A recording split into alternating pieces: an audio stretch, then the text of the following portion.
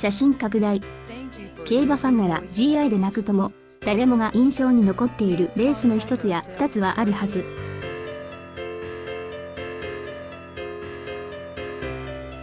そうした記録より記憶に残るレースを取り上げ、当時の背景とともに紹介していく。ここでは、強烈な追い込みを武器にファンを魅了したブロードアピールが勝利した2000年のネギシエスを振り返る。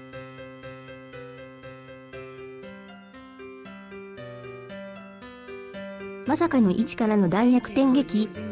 K1 バイキングが出走を取り消し15頭で行われた。当時11月に行われていたこのレースには現在も浦和を中心に活躍するミスターピンクそんな中で一番人気に押されたのが本校の主役ブロードアピールがデラミロード。同年の NHK マイル C2 着馬東洋でヘア翌年の JBC スプリントを含む交流重賞8勝を挙げたのぼちにディープインパクトやアパパネといったオスメス三冠馬をはじめ、数々の GI タイトルをラッシュする金子正とオーナーの所有馬でもありそうな王子はまだ重賞1勝馬に過ぎなかった上に、ダート戦の経験も未知数な部分が多く、下級条件とオープンでそれぞれ勝っていたものの、後者の勝利はそれぞれ2着と重賞で取りこぼすシンタース S4 着があることからも、一般的なファンの認識は芝の短距離馬と言っても差し支えなかったろう。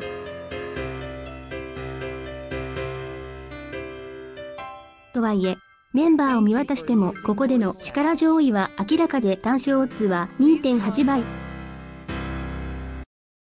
すでにシルクロード S を制して芝の重賞馬となっていたブロードアピールがダート重賞も制し、両カテゴリーで重賞を勝つことができるのか、ファンの注目はその一点に注がれていた。レースは大外枠から花を主張してきたベラミロードに対し、内から先手を譲らないエーシンサンルイス、さらに地方名古屋のゴールデンチェリーが絡み、1000メートルのタイムは57秒9という一方のブロードアピールは、例によってゲートを出たなりで後方に控えるのが定番とはいえ、ポジションは最後方。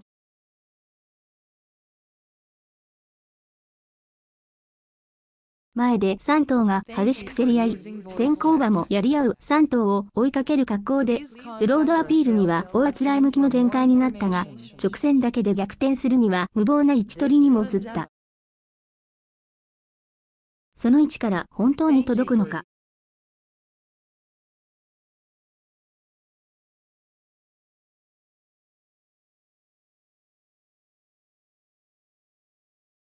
多くのファンの視線が最後方の黒影に注がれる中、あたかも芝でのレースであるかのように、大外から1頭だけ次元の違う末足を繰り出し、1カンポごとにぐんぐん差を詰めるブロードアピール気づけば2着に粘った栄新三ルイスに1馬身1スラッシュ4差をつけて、芝、ダート両カテゴリー逃げた栄新三ルイスの上がり3ハロが36秒2だったのに対し、ブロードアピールのそれは34秒3。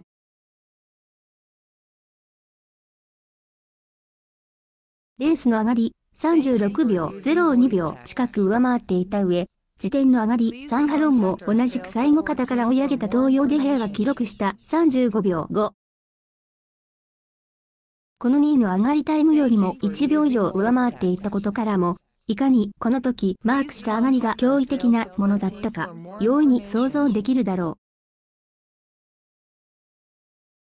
この勝利がターニングポイントとなり、その後、ダートをメインの主戦場に据え、交流重賞の柿つばと最終的には GI タイトルには手が届かなかったものの、もともと芝レースで垣間見せていた。ポテンシャルをダートで消化させた電気として、ブロードアピールを語る上では、